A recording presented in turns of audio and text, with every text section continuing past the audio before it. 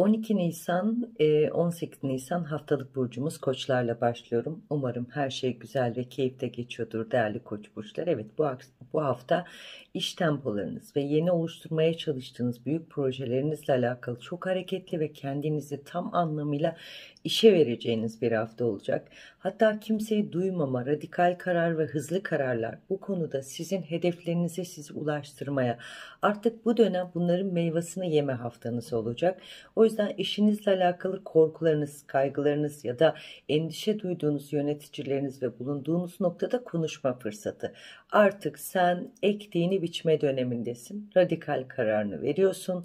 Yöneticin bulunduğun noktayla alakalı artık doğru adımları yapman gerekiyor ve bu bunu e, bu fikrinden vazgeçme çünkü güzel başlangıçlar, güzel oluşumlar yaşayacaksınız.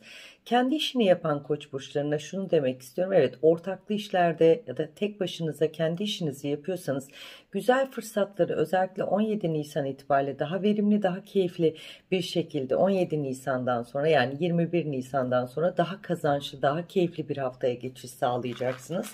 Yani aslında hayatınızda problemleri bir nevi geride bırakacağınız ve kâra geçeceğiniz bir hafta olacak. O yüzden ben sizin e, parasal evrenizden korkmuyorum.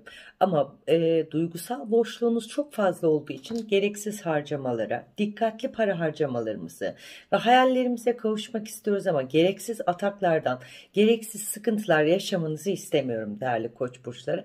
Yani parayı kontrollü harcamamız sağlıklı.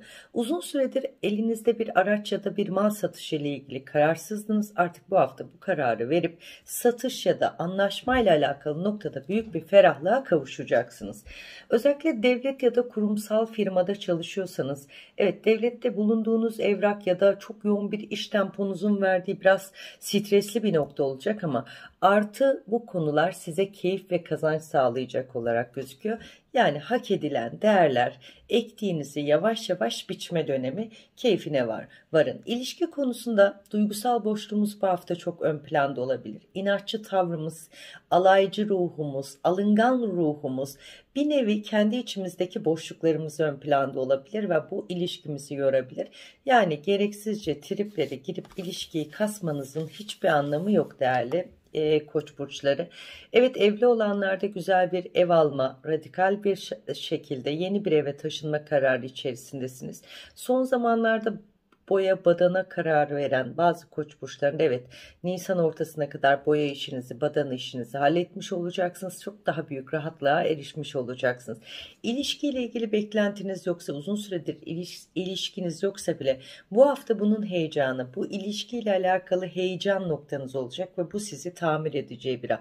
Sağlık olarak boyun, e, boyun kireçlenmeniz, bel kireçlenmeniz, bel tutukluklarımız söz konusu olabilir. Doğru beslenme özellikle gereksiz diyetlerden bu dönem uzak durmanız lazım. Sağlığınız bu konuda hassas diyorum.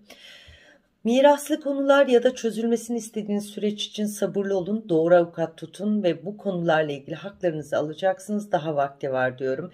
Eğitim ve yurt dışında yaşayan bazı koç burçları için şehir ya da ülke değişimi söz konusu olacak ve özellikle Avrupa ülkesinde yaşıyorsanız bunu Almanya, Fransa, İtalya yani Avrupa enerjisindeyiz Hollanda'da olabilir. E, beklediğiniz iş ve uzun süredir çözülmüyorsa bu konularla alakalı noktada çok büyük bir ferahlığa erişeceksiniz.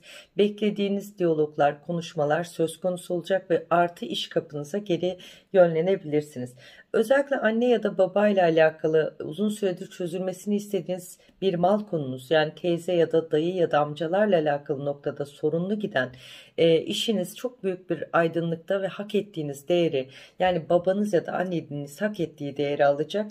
Yani burada mal konuları ile ilgili kazanılmış hak ve iade edilme noktası olacak gözüküyor.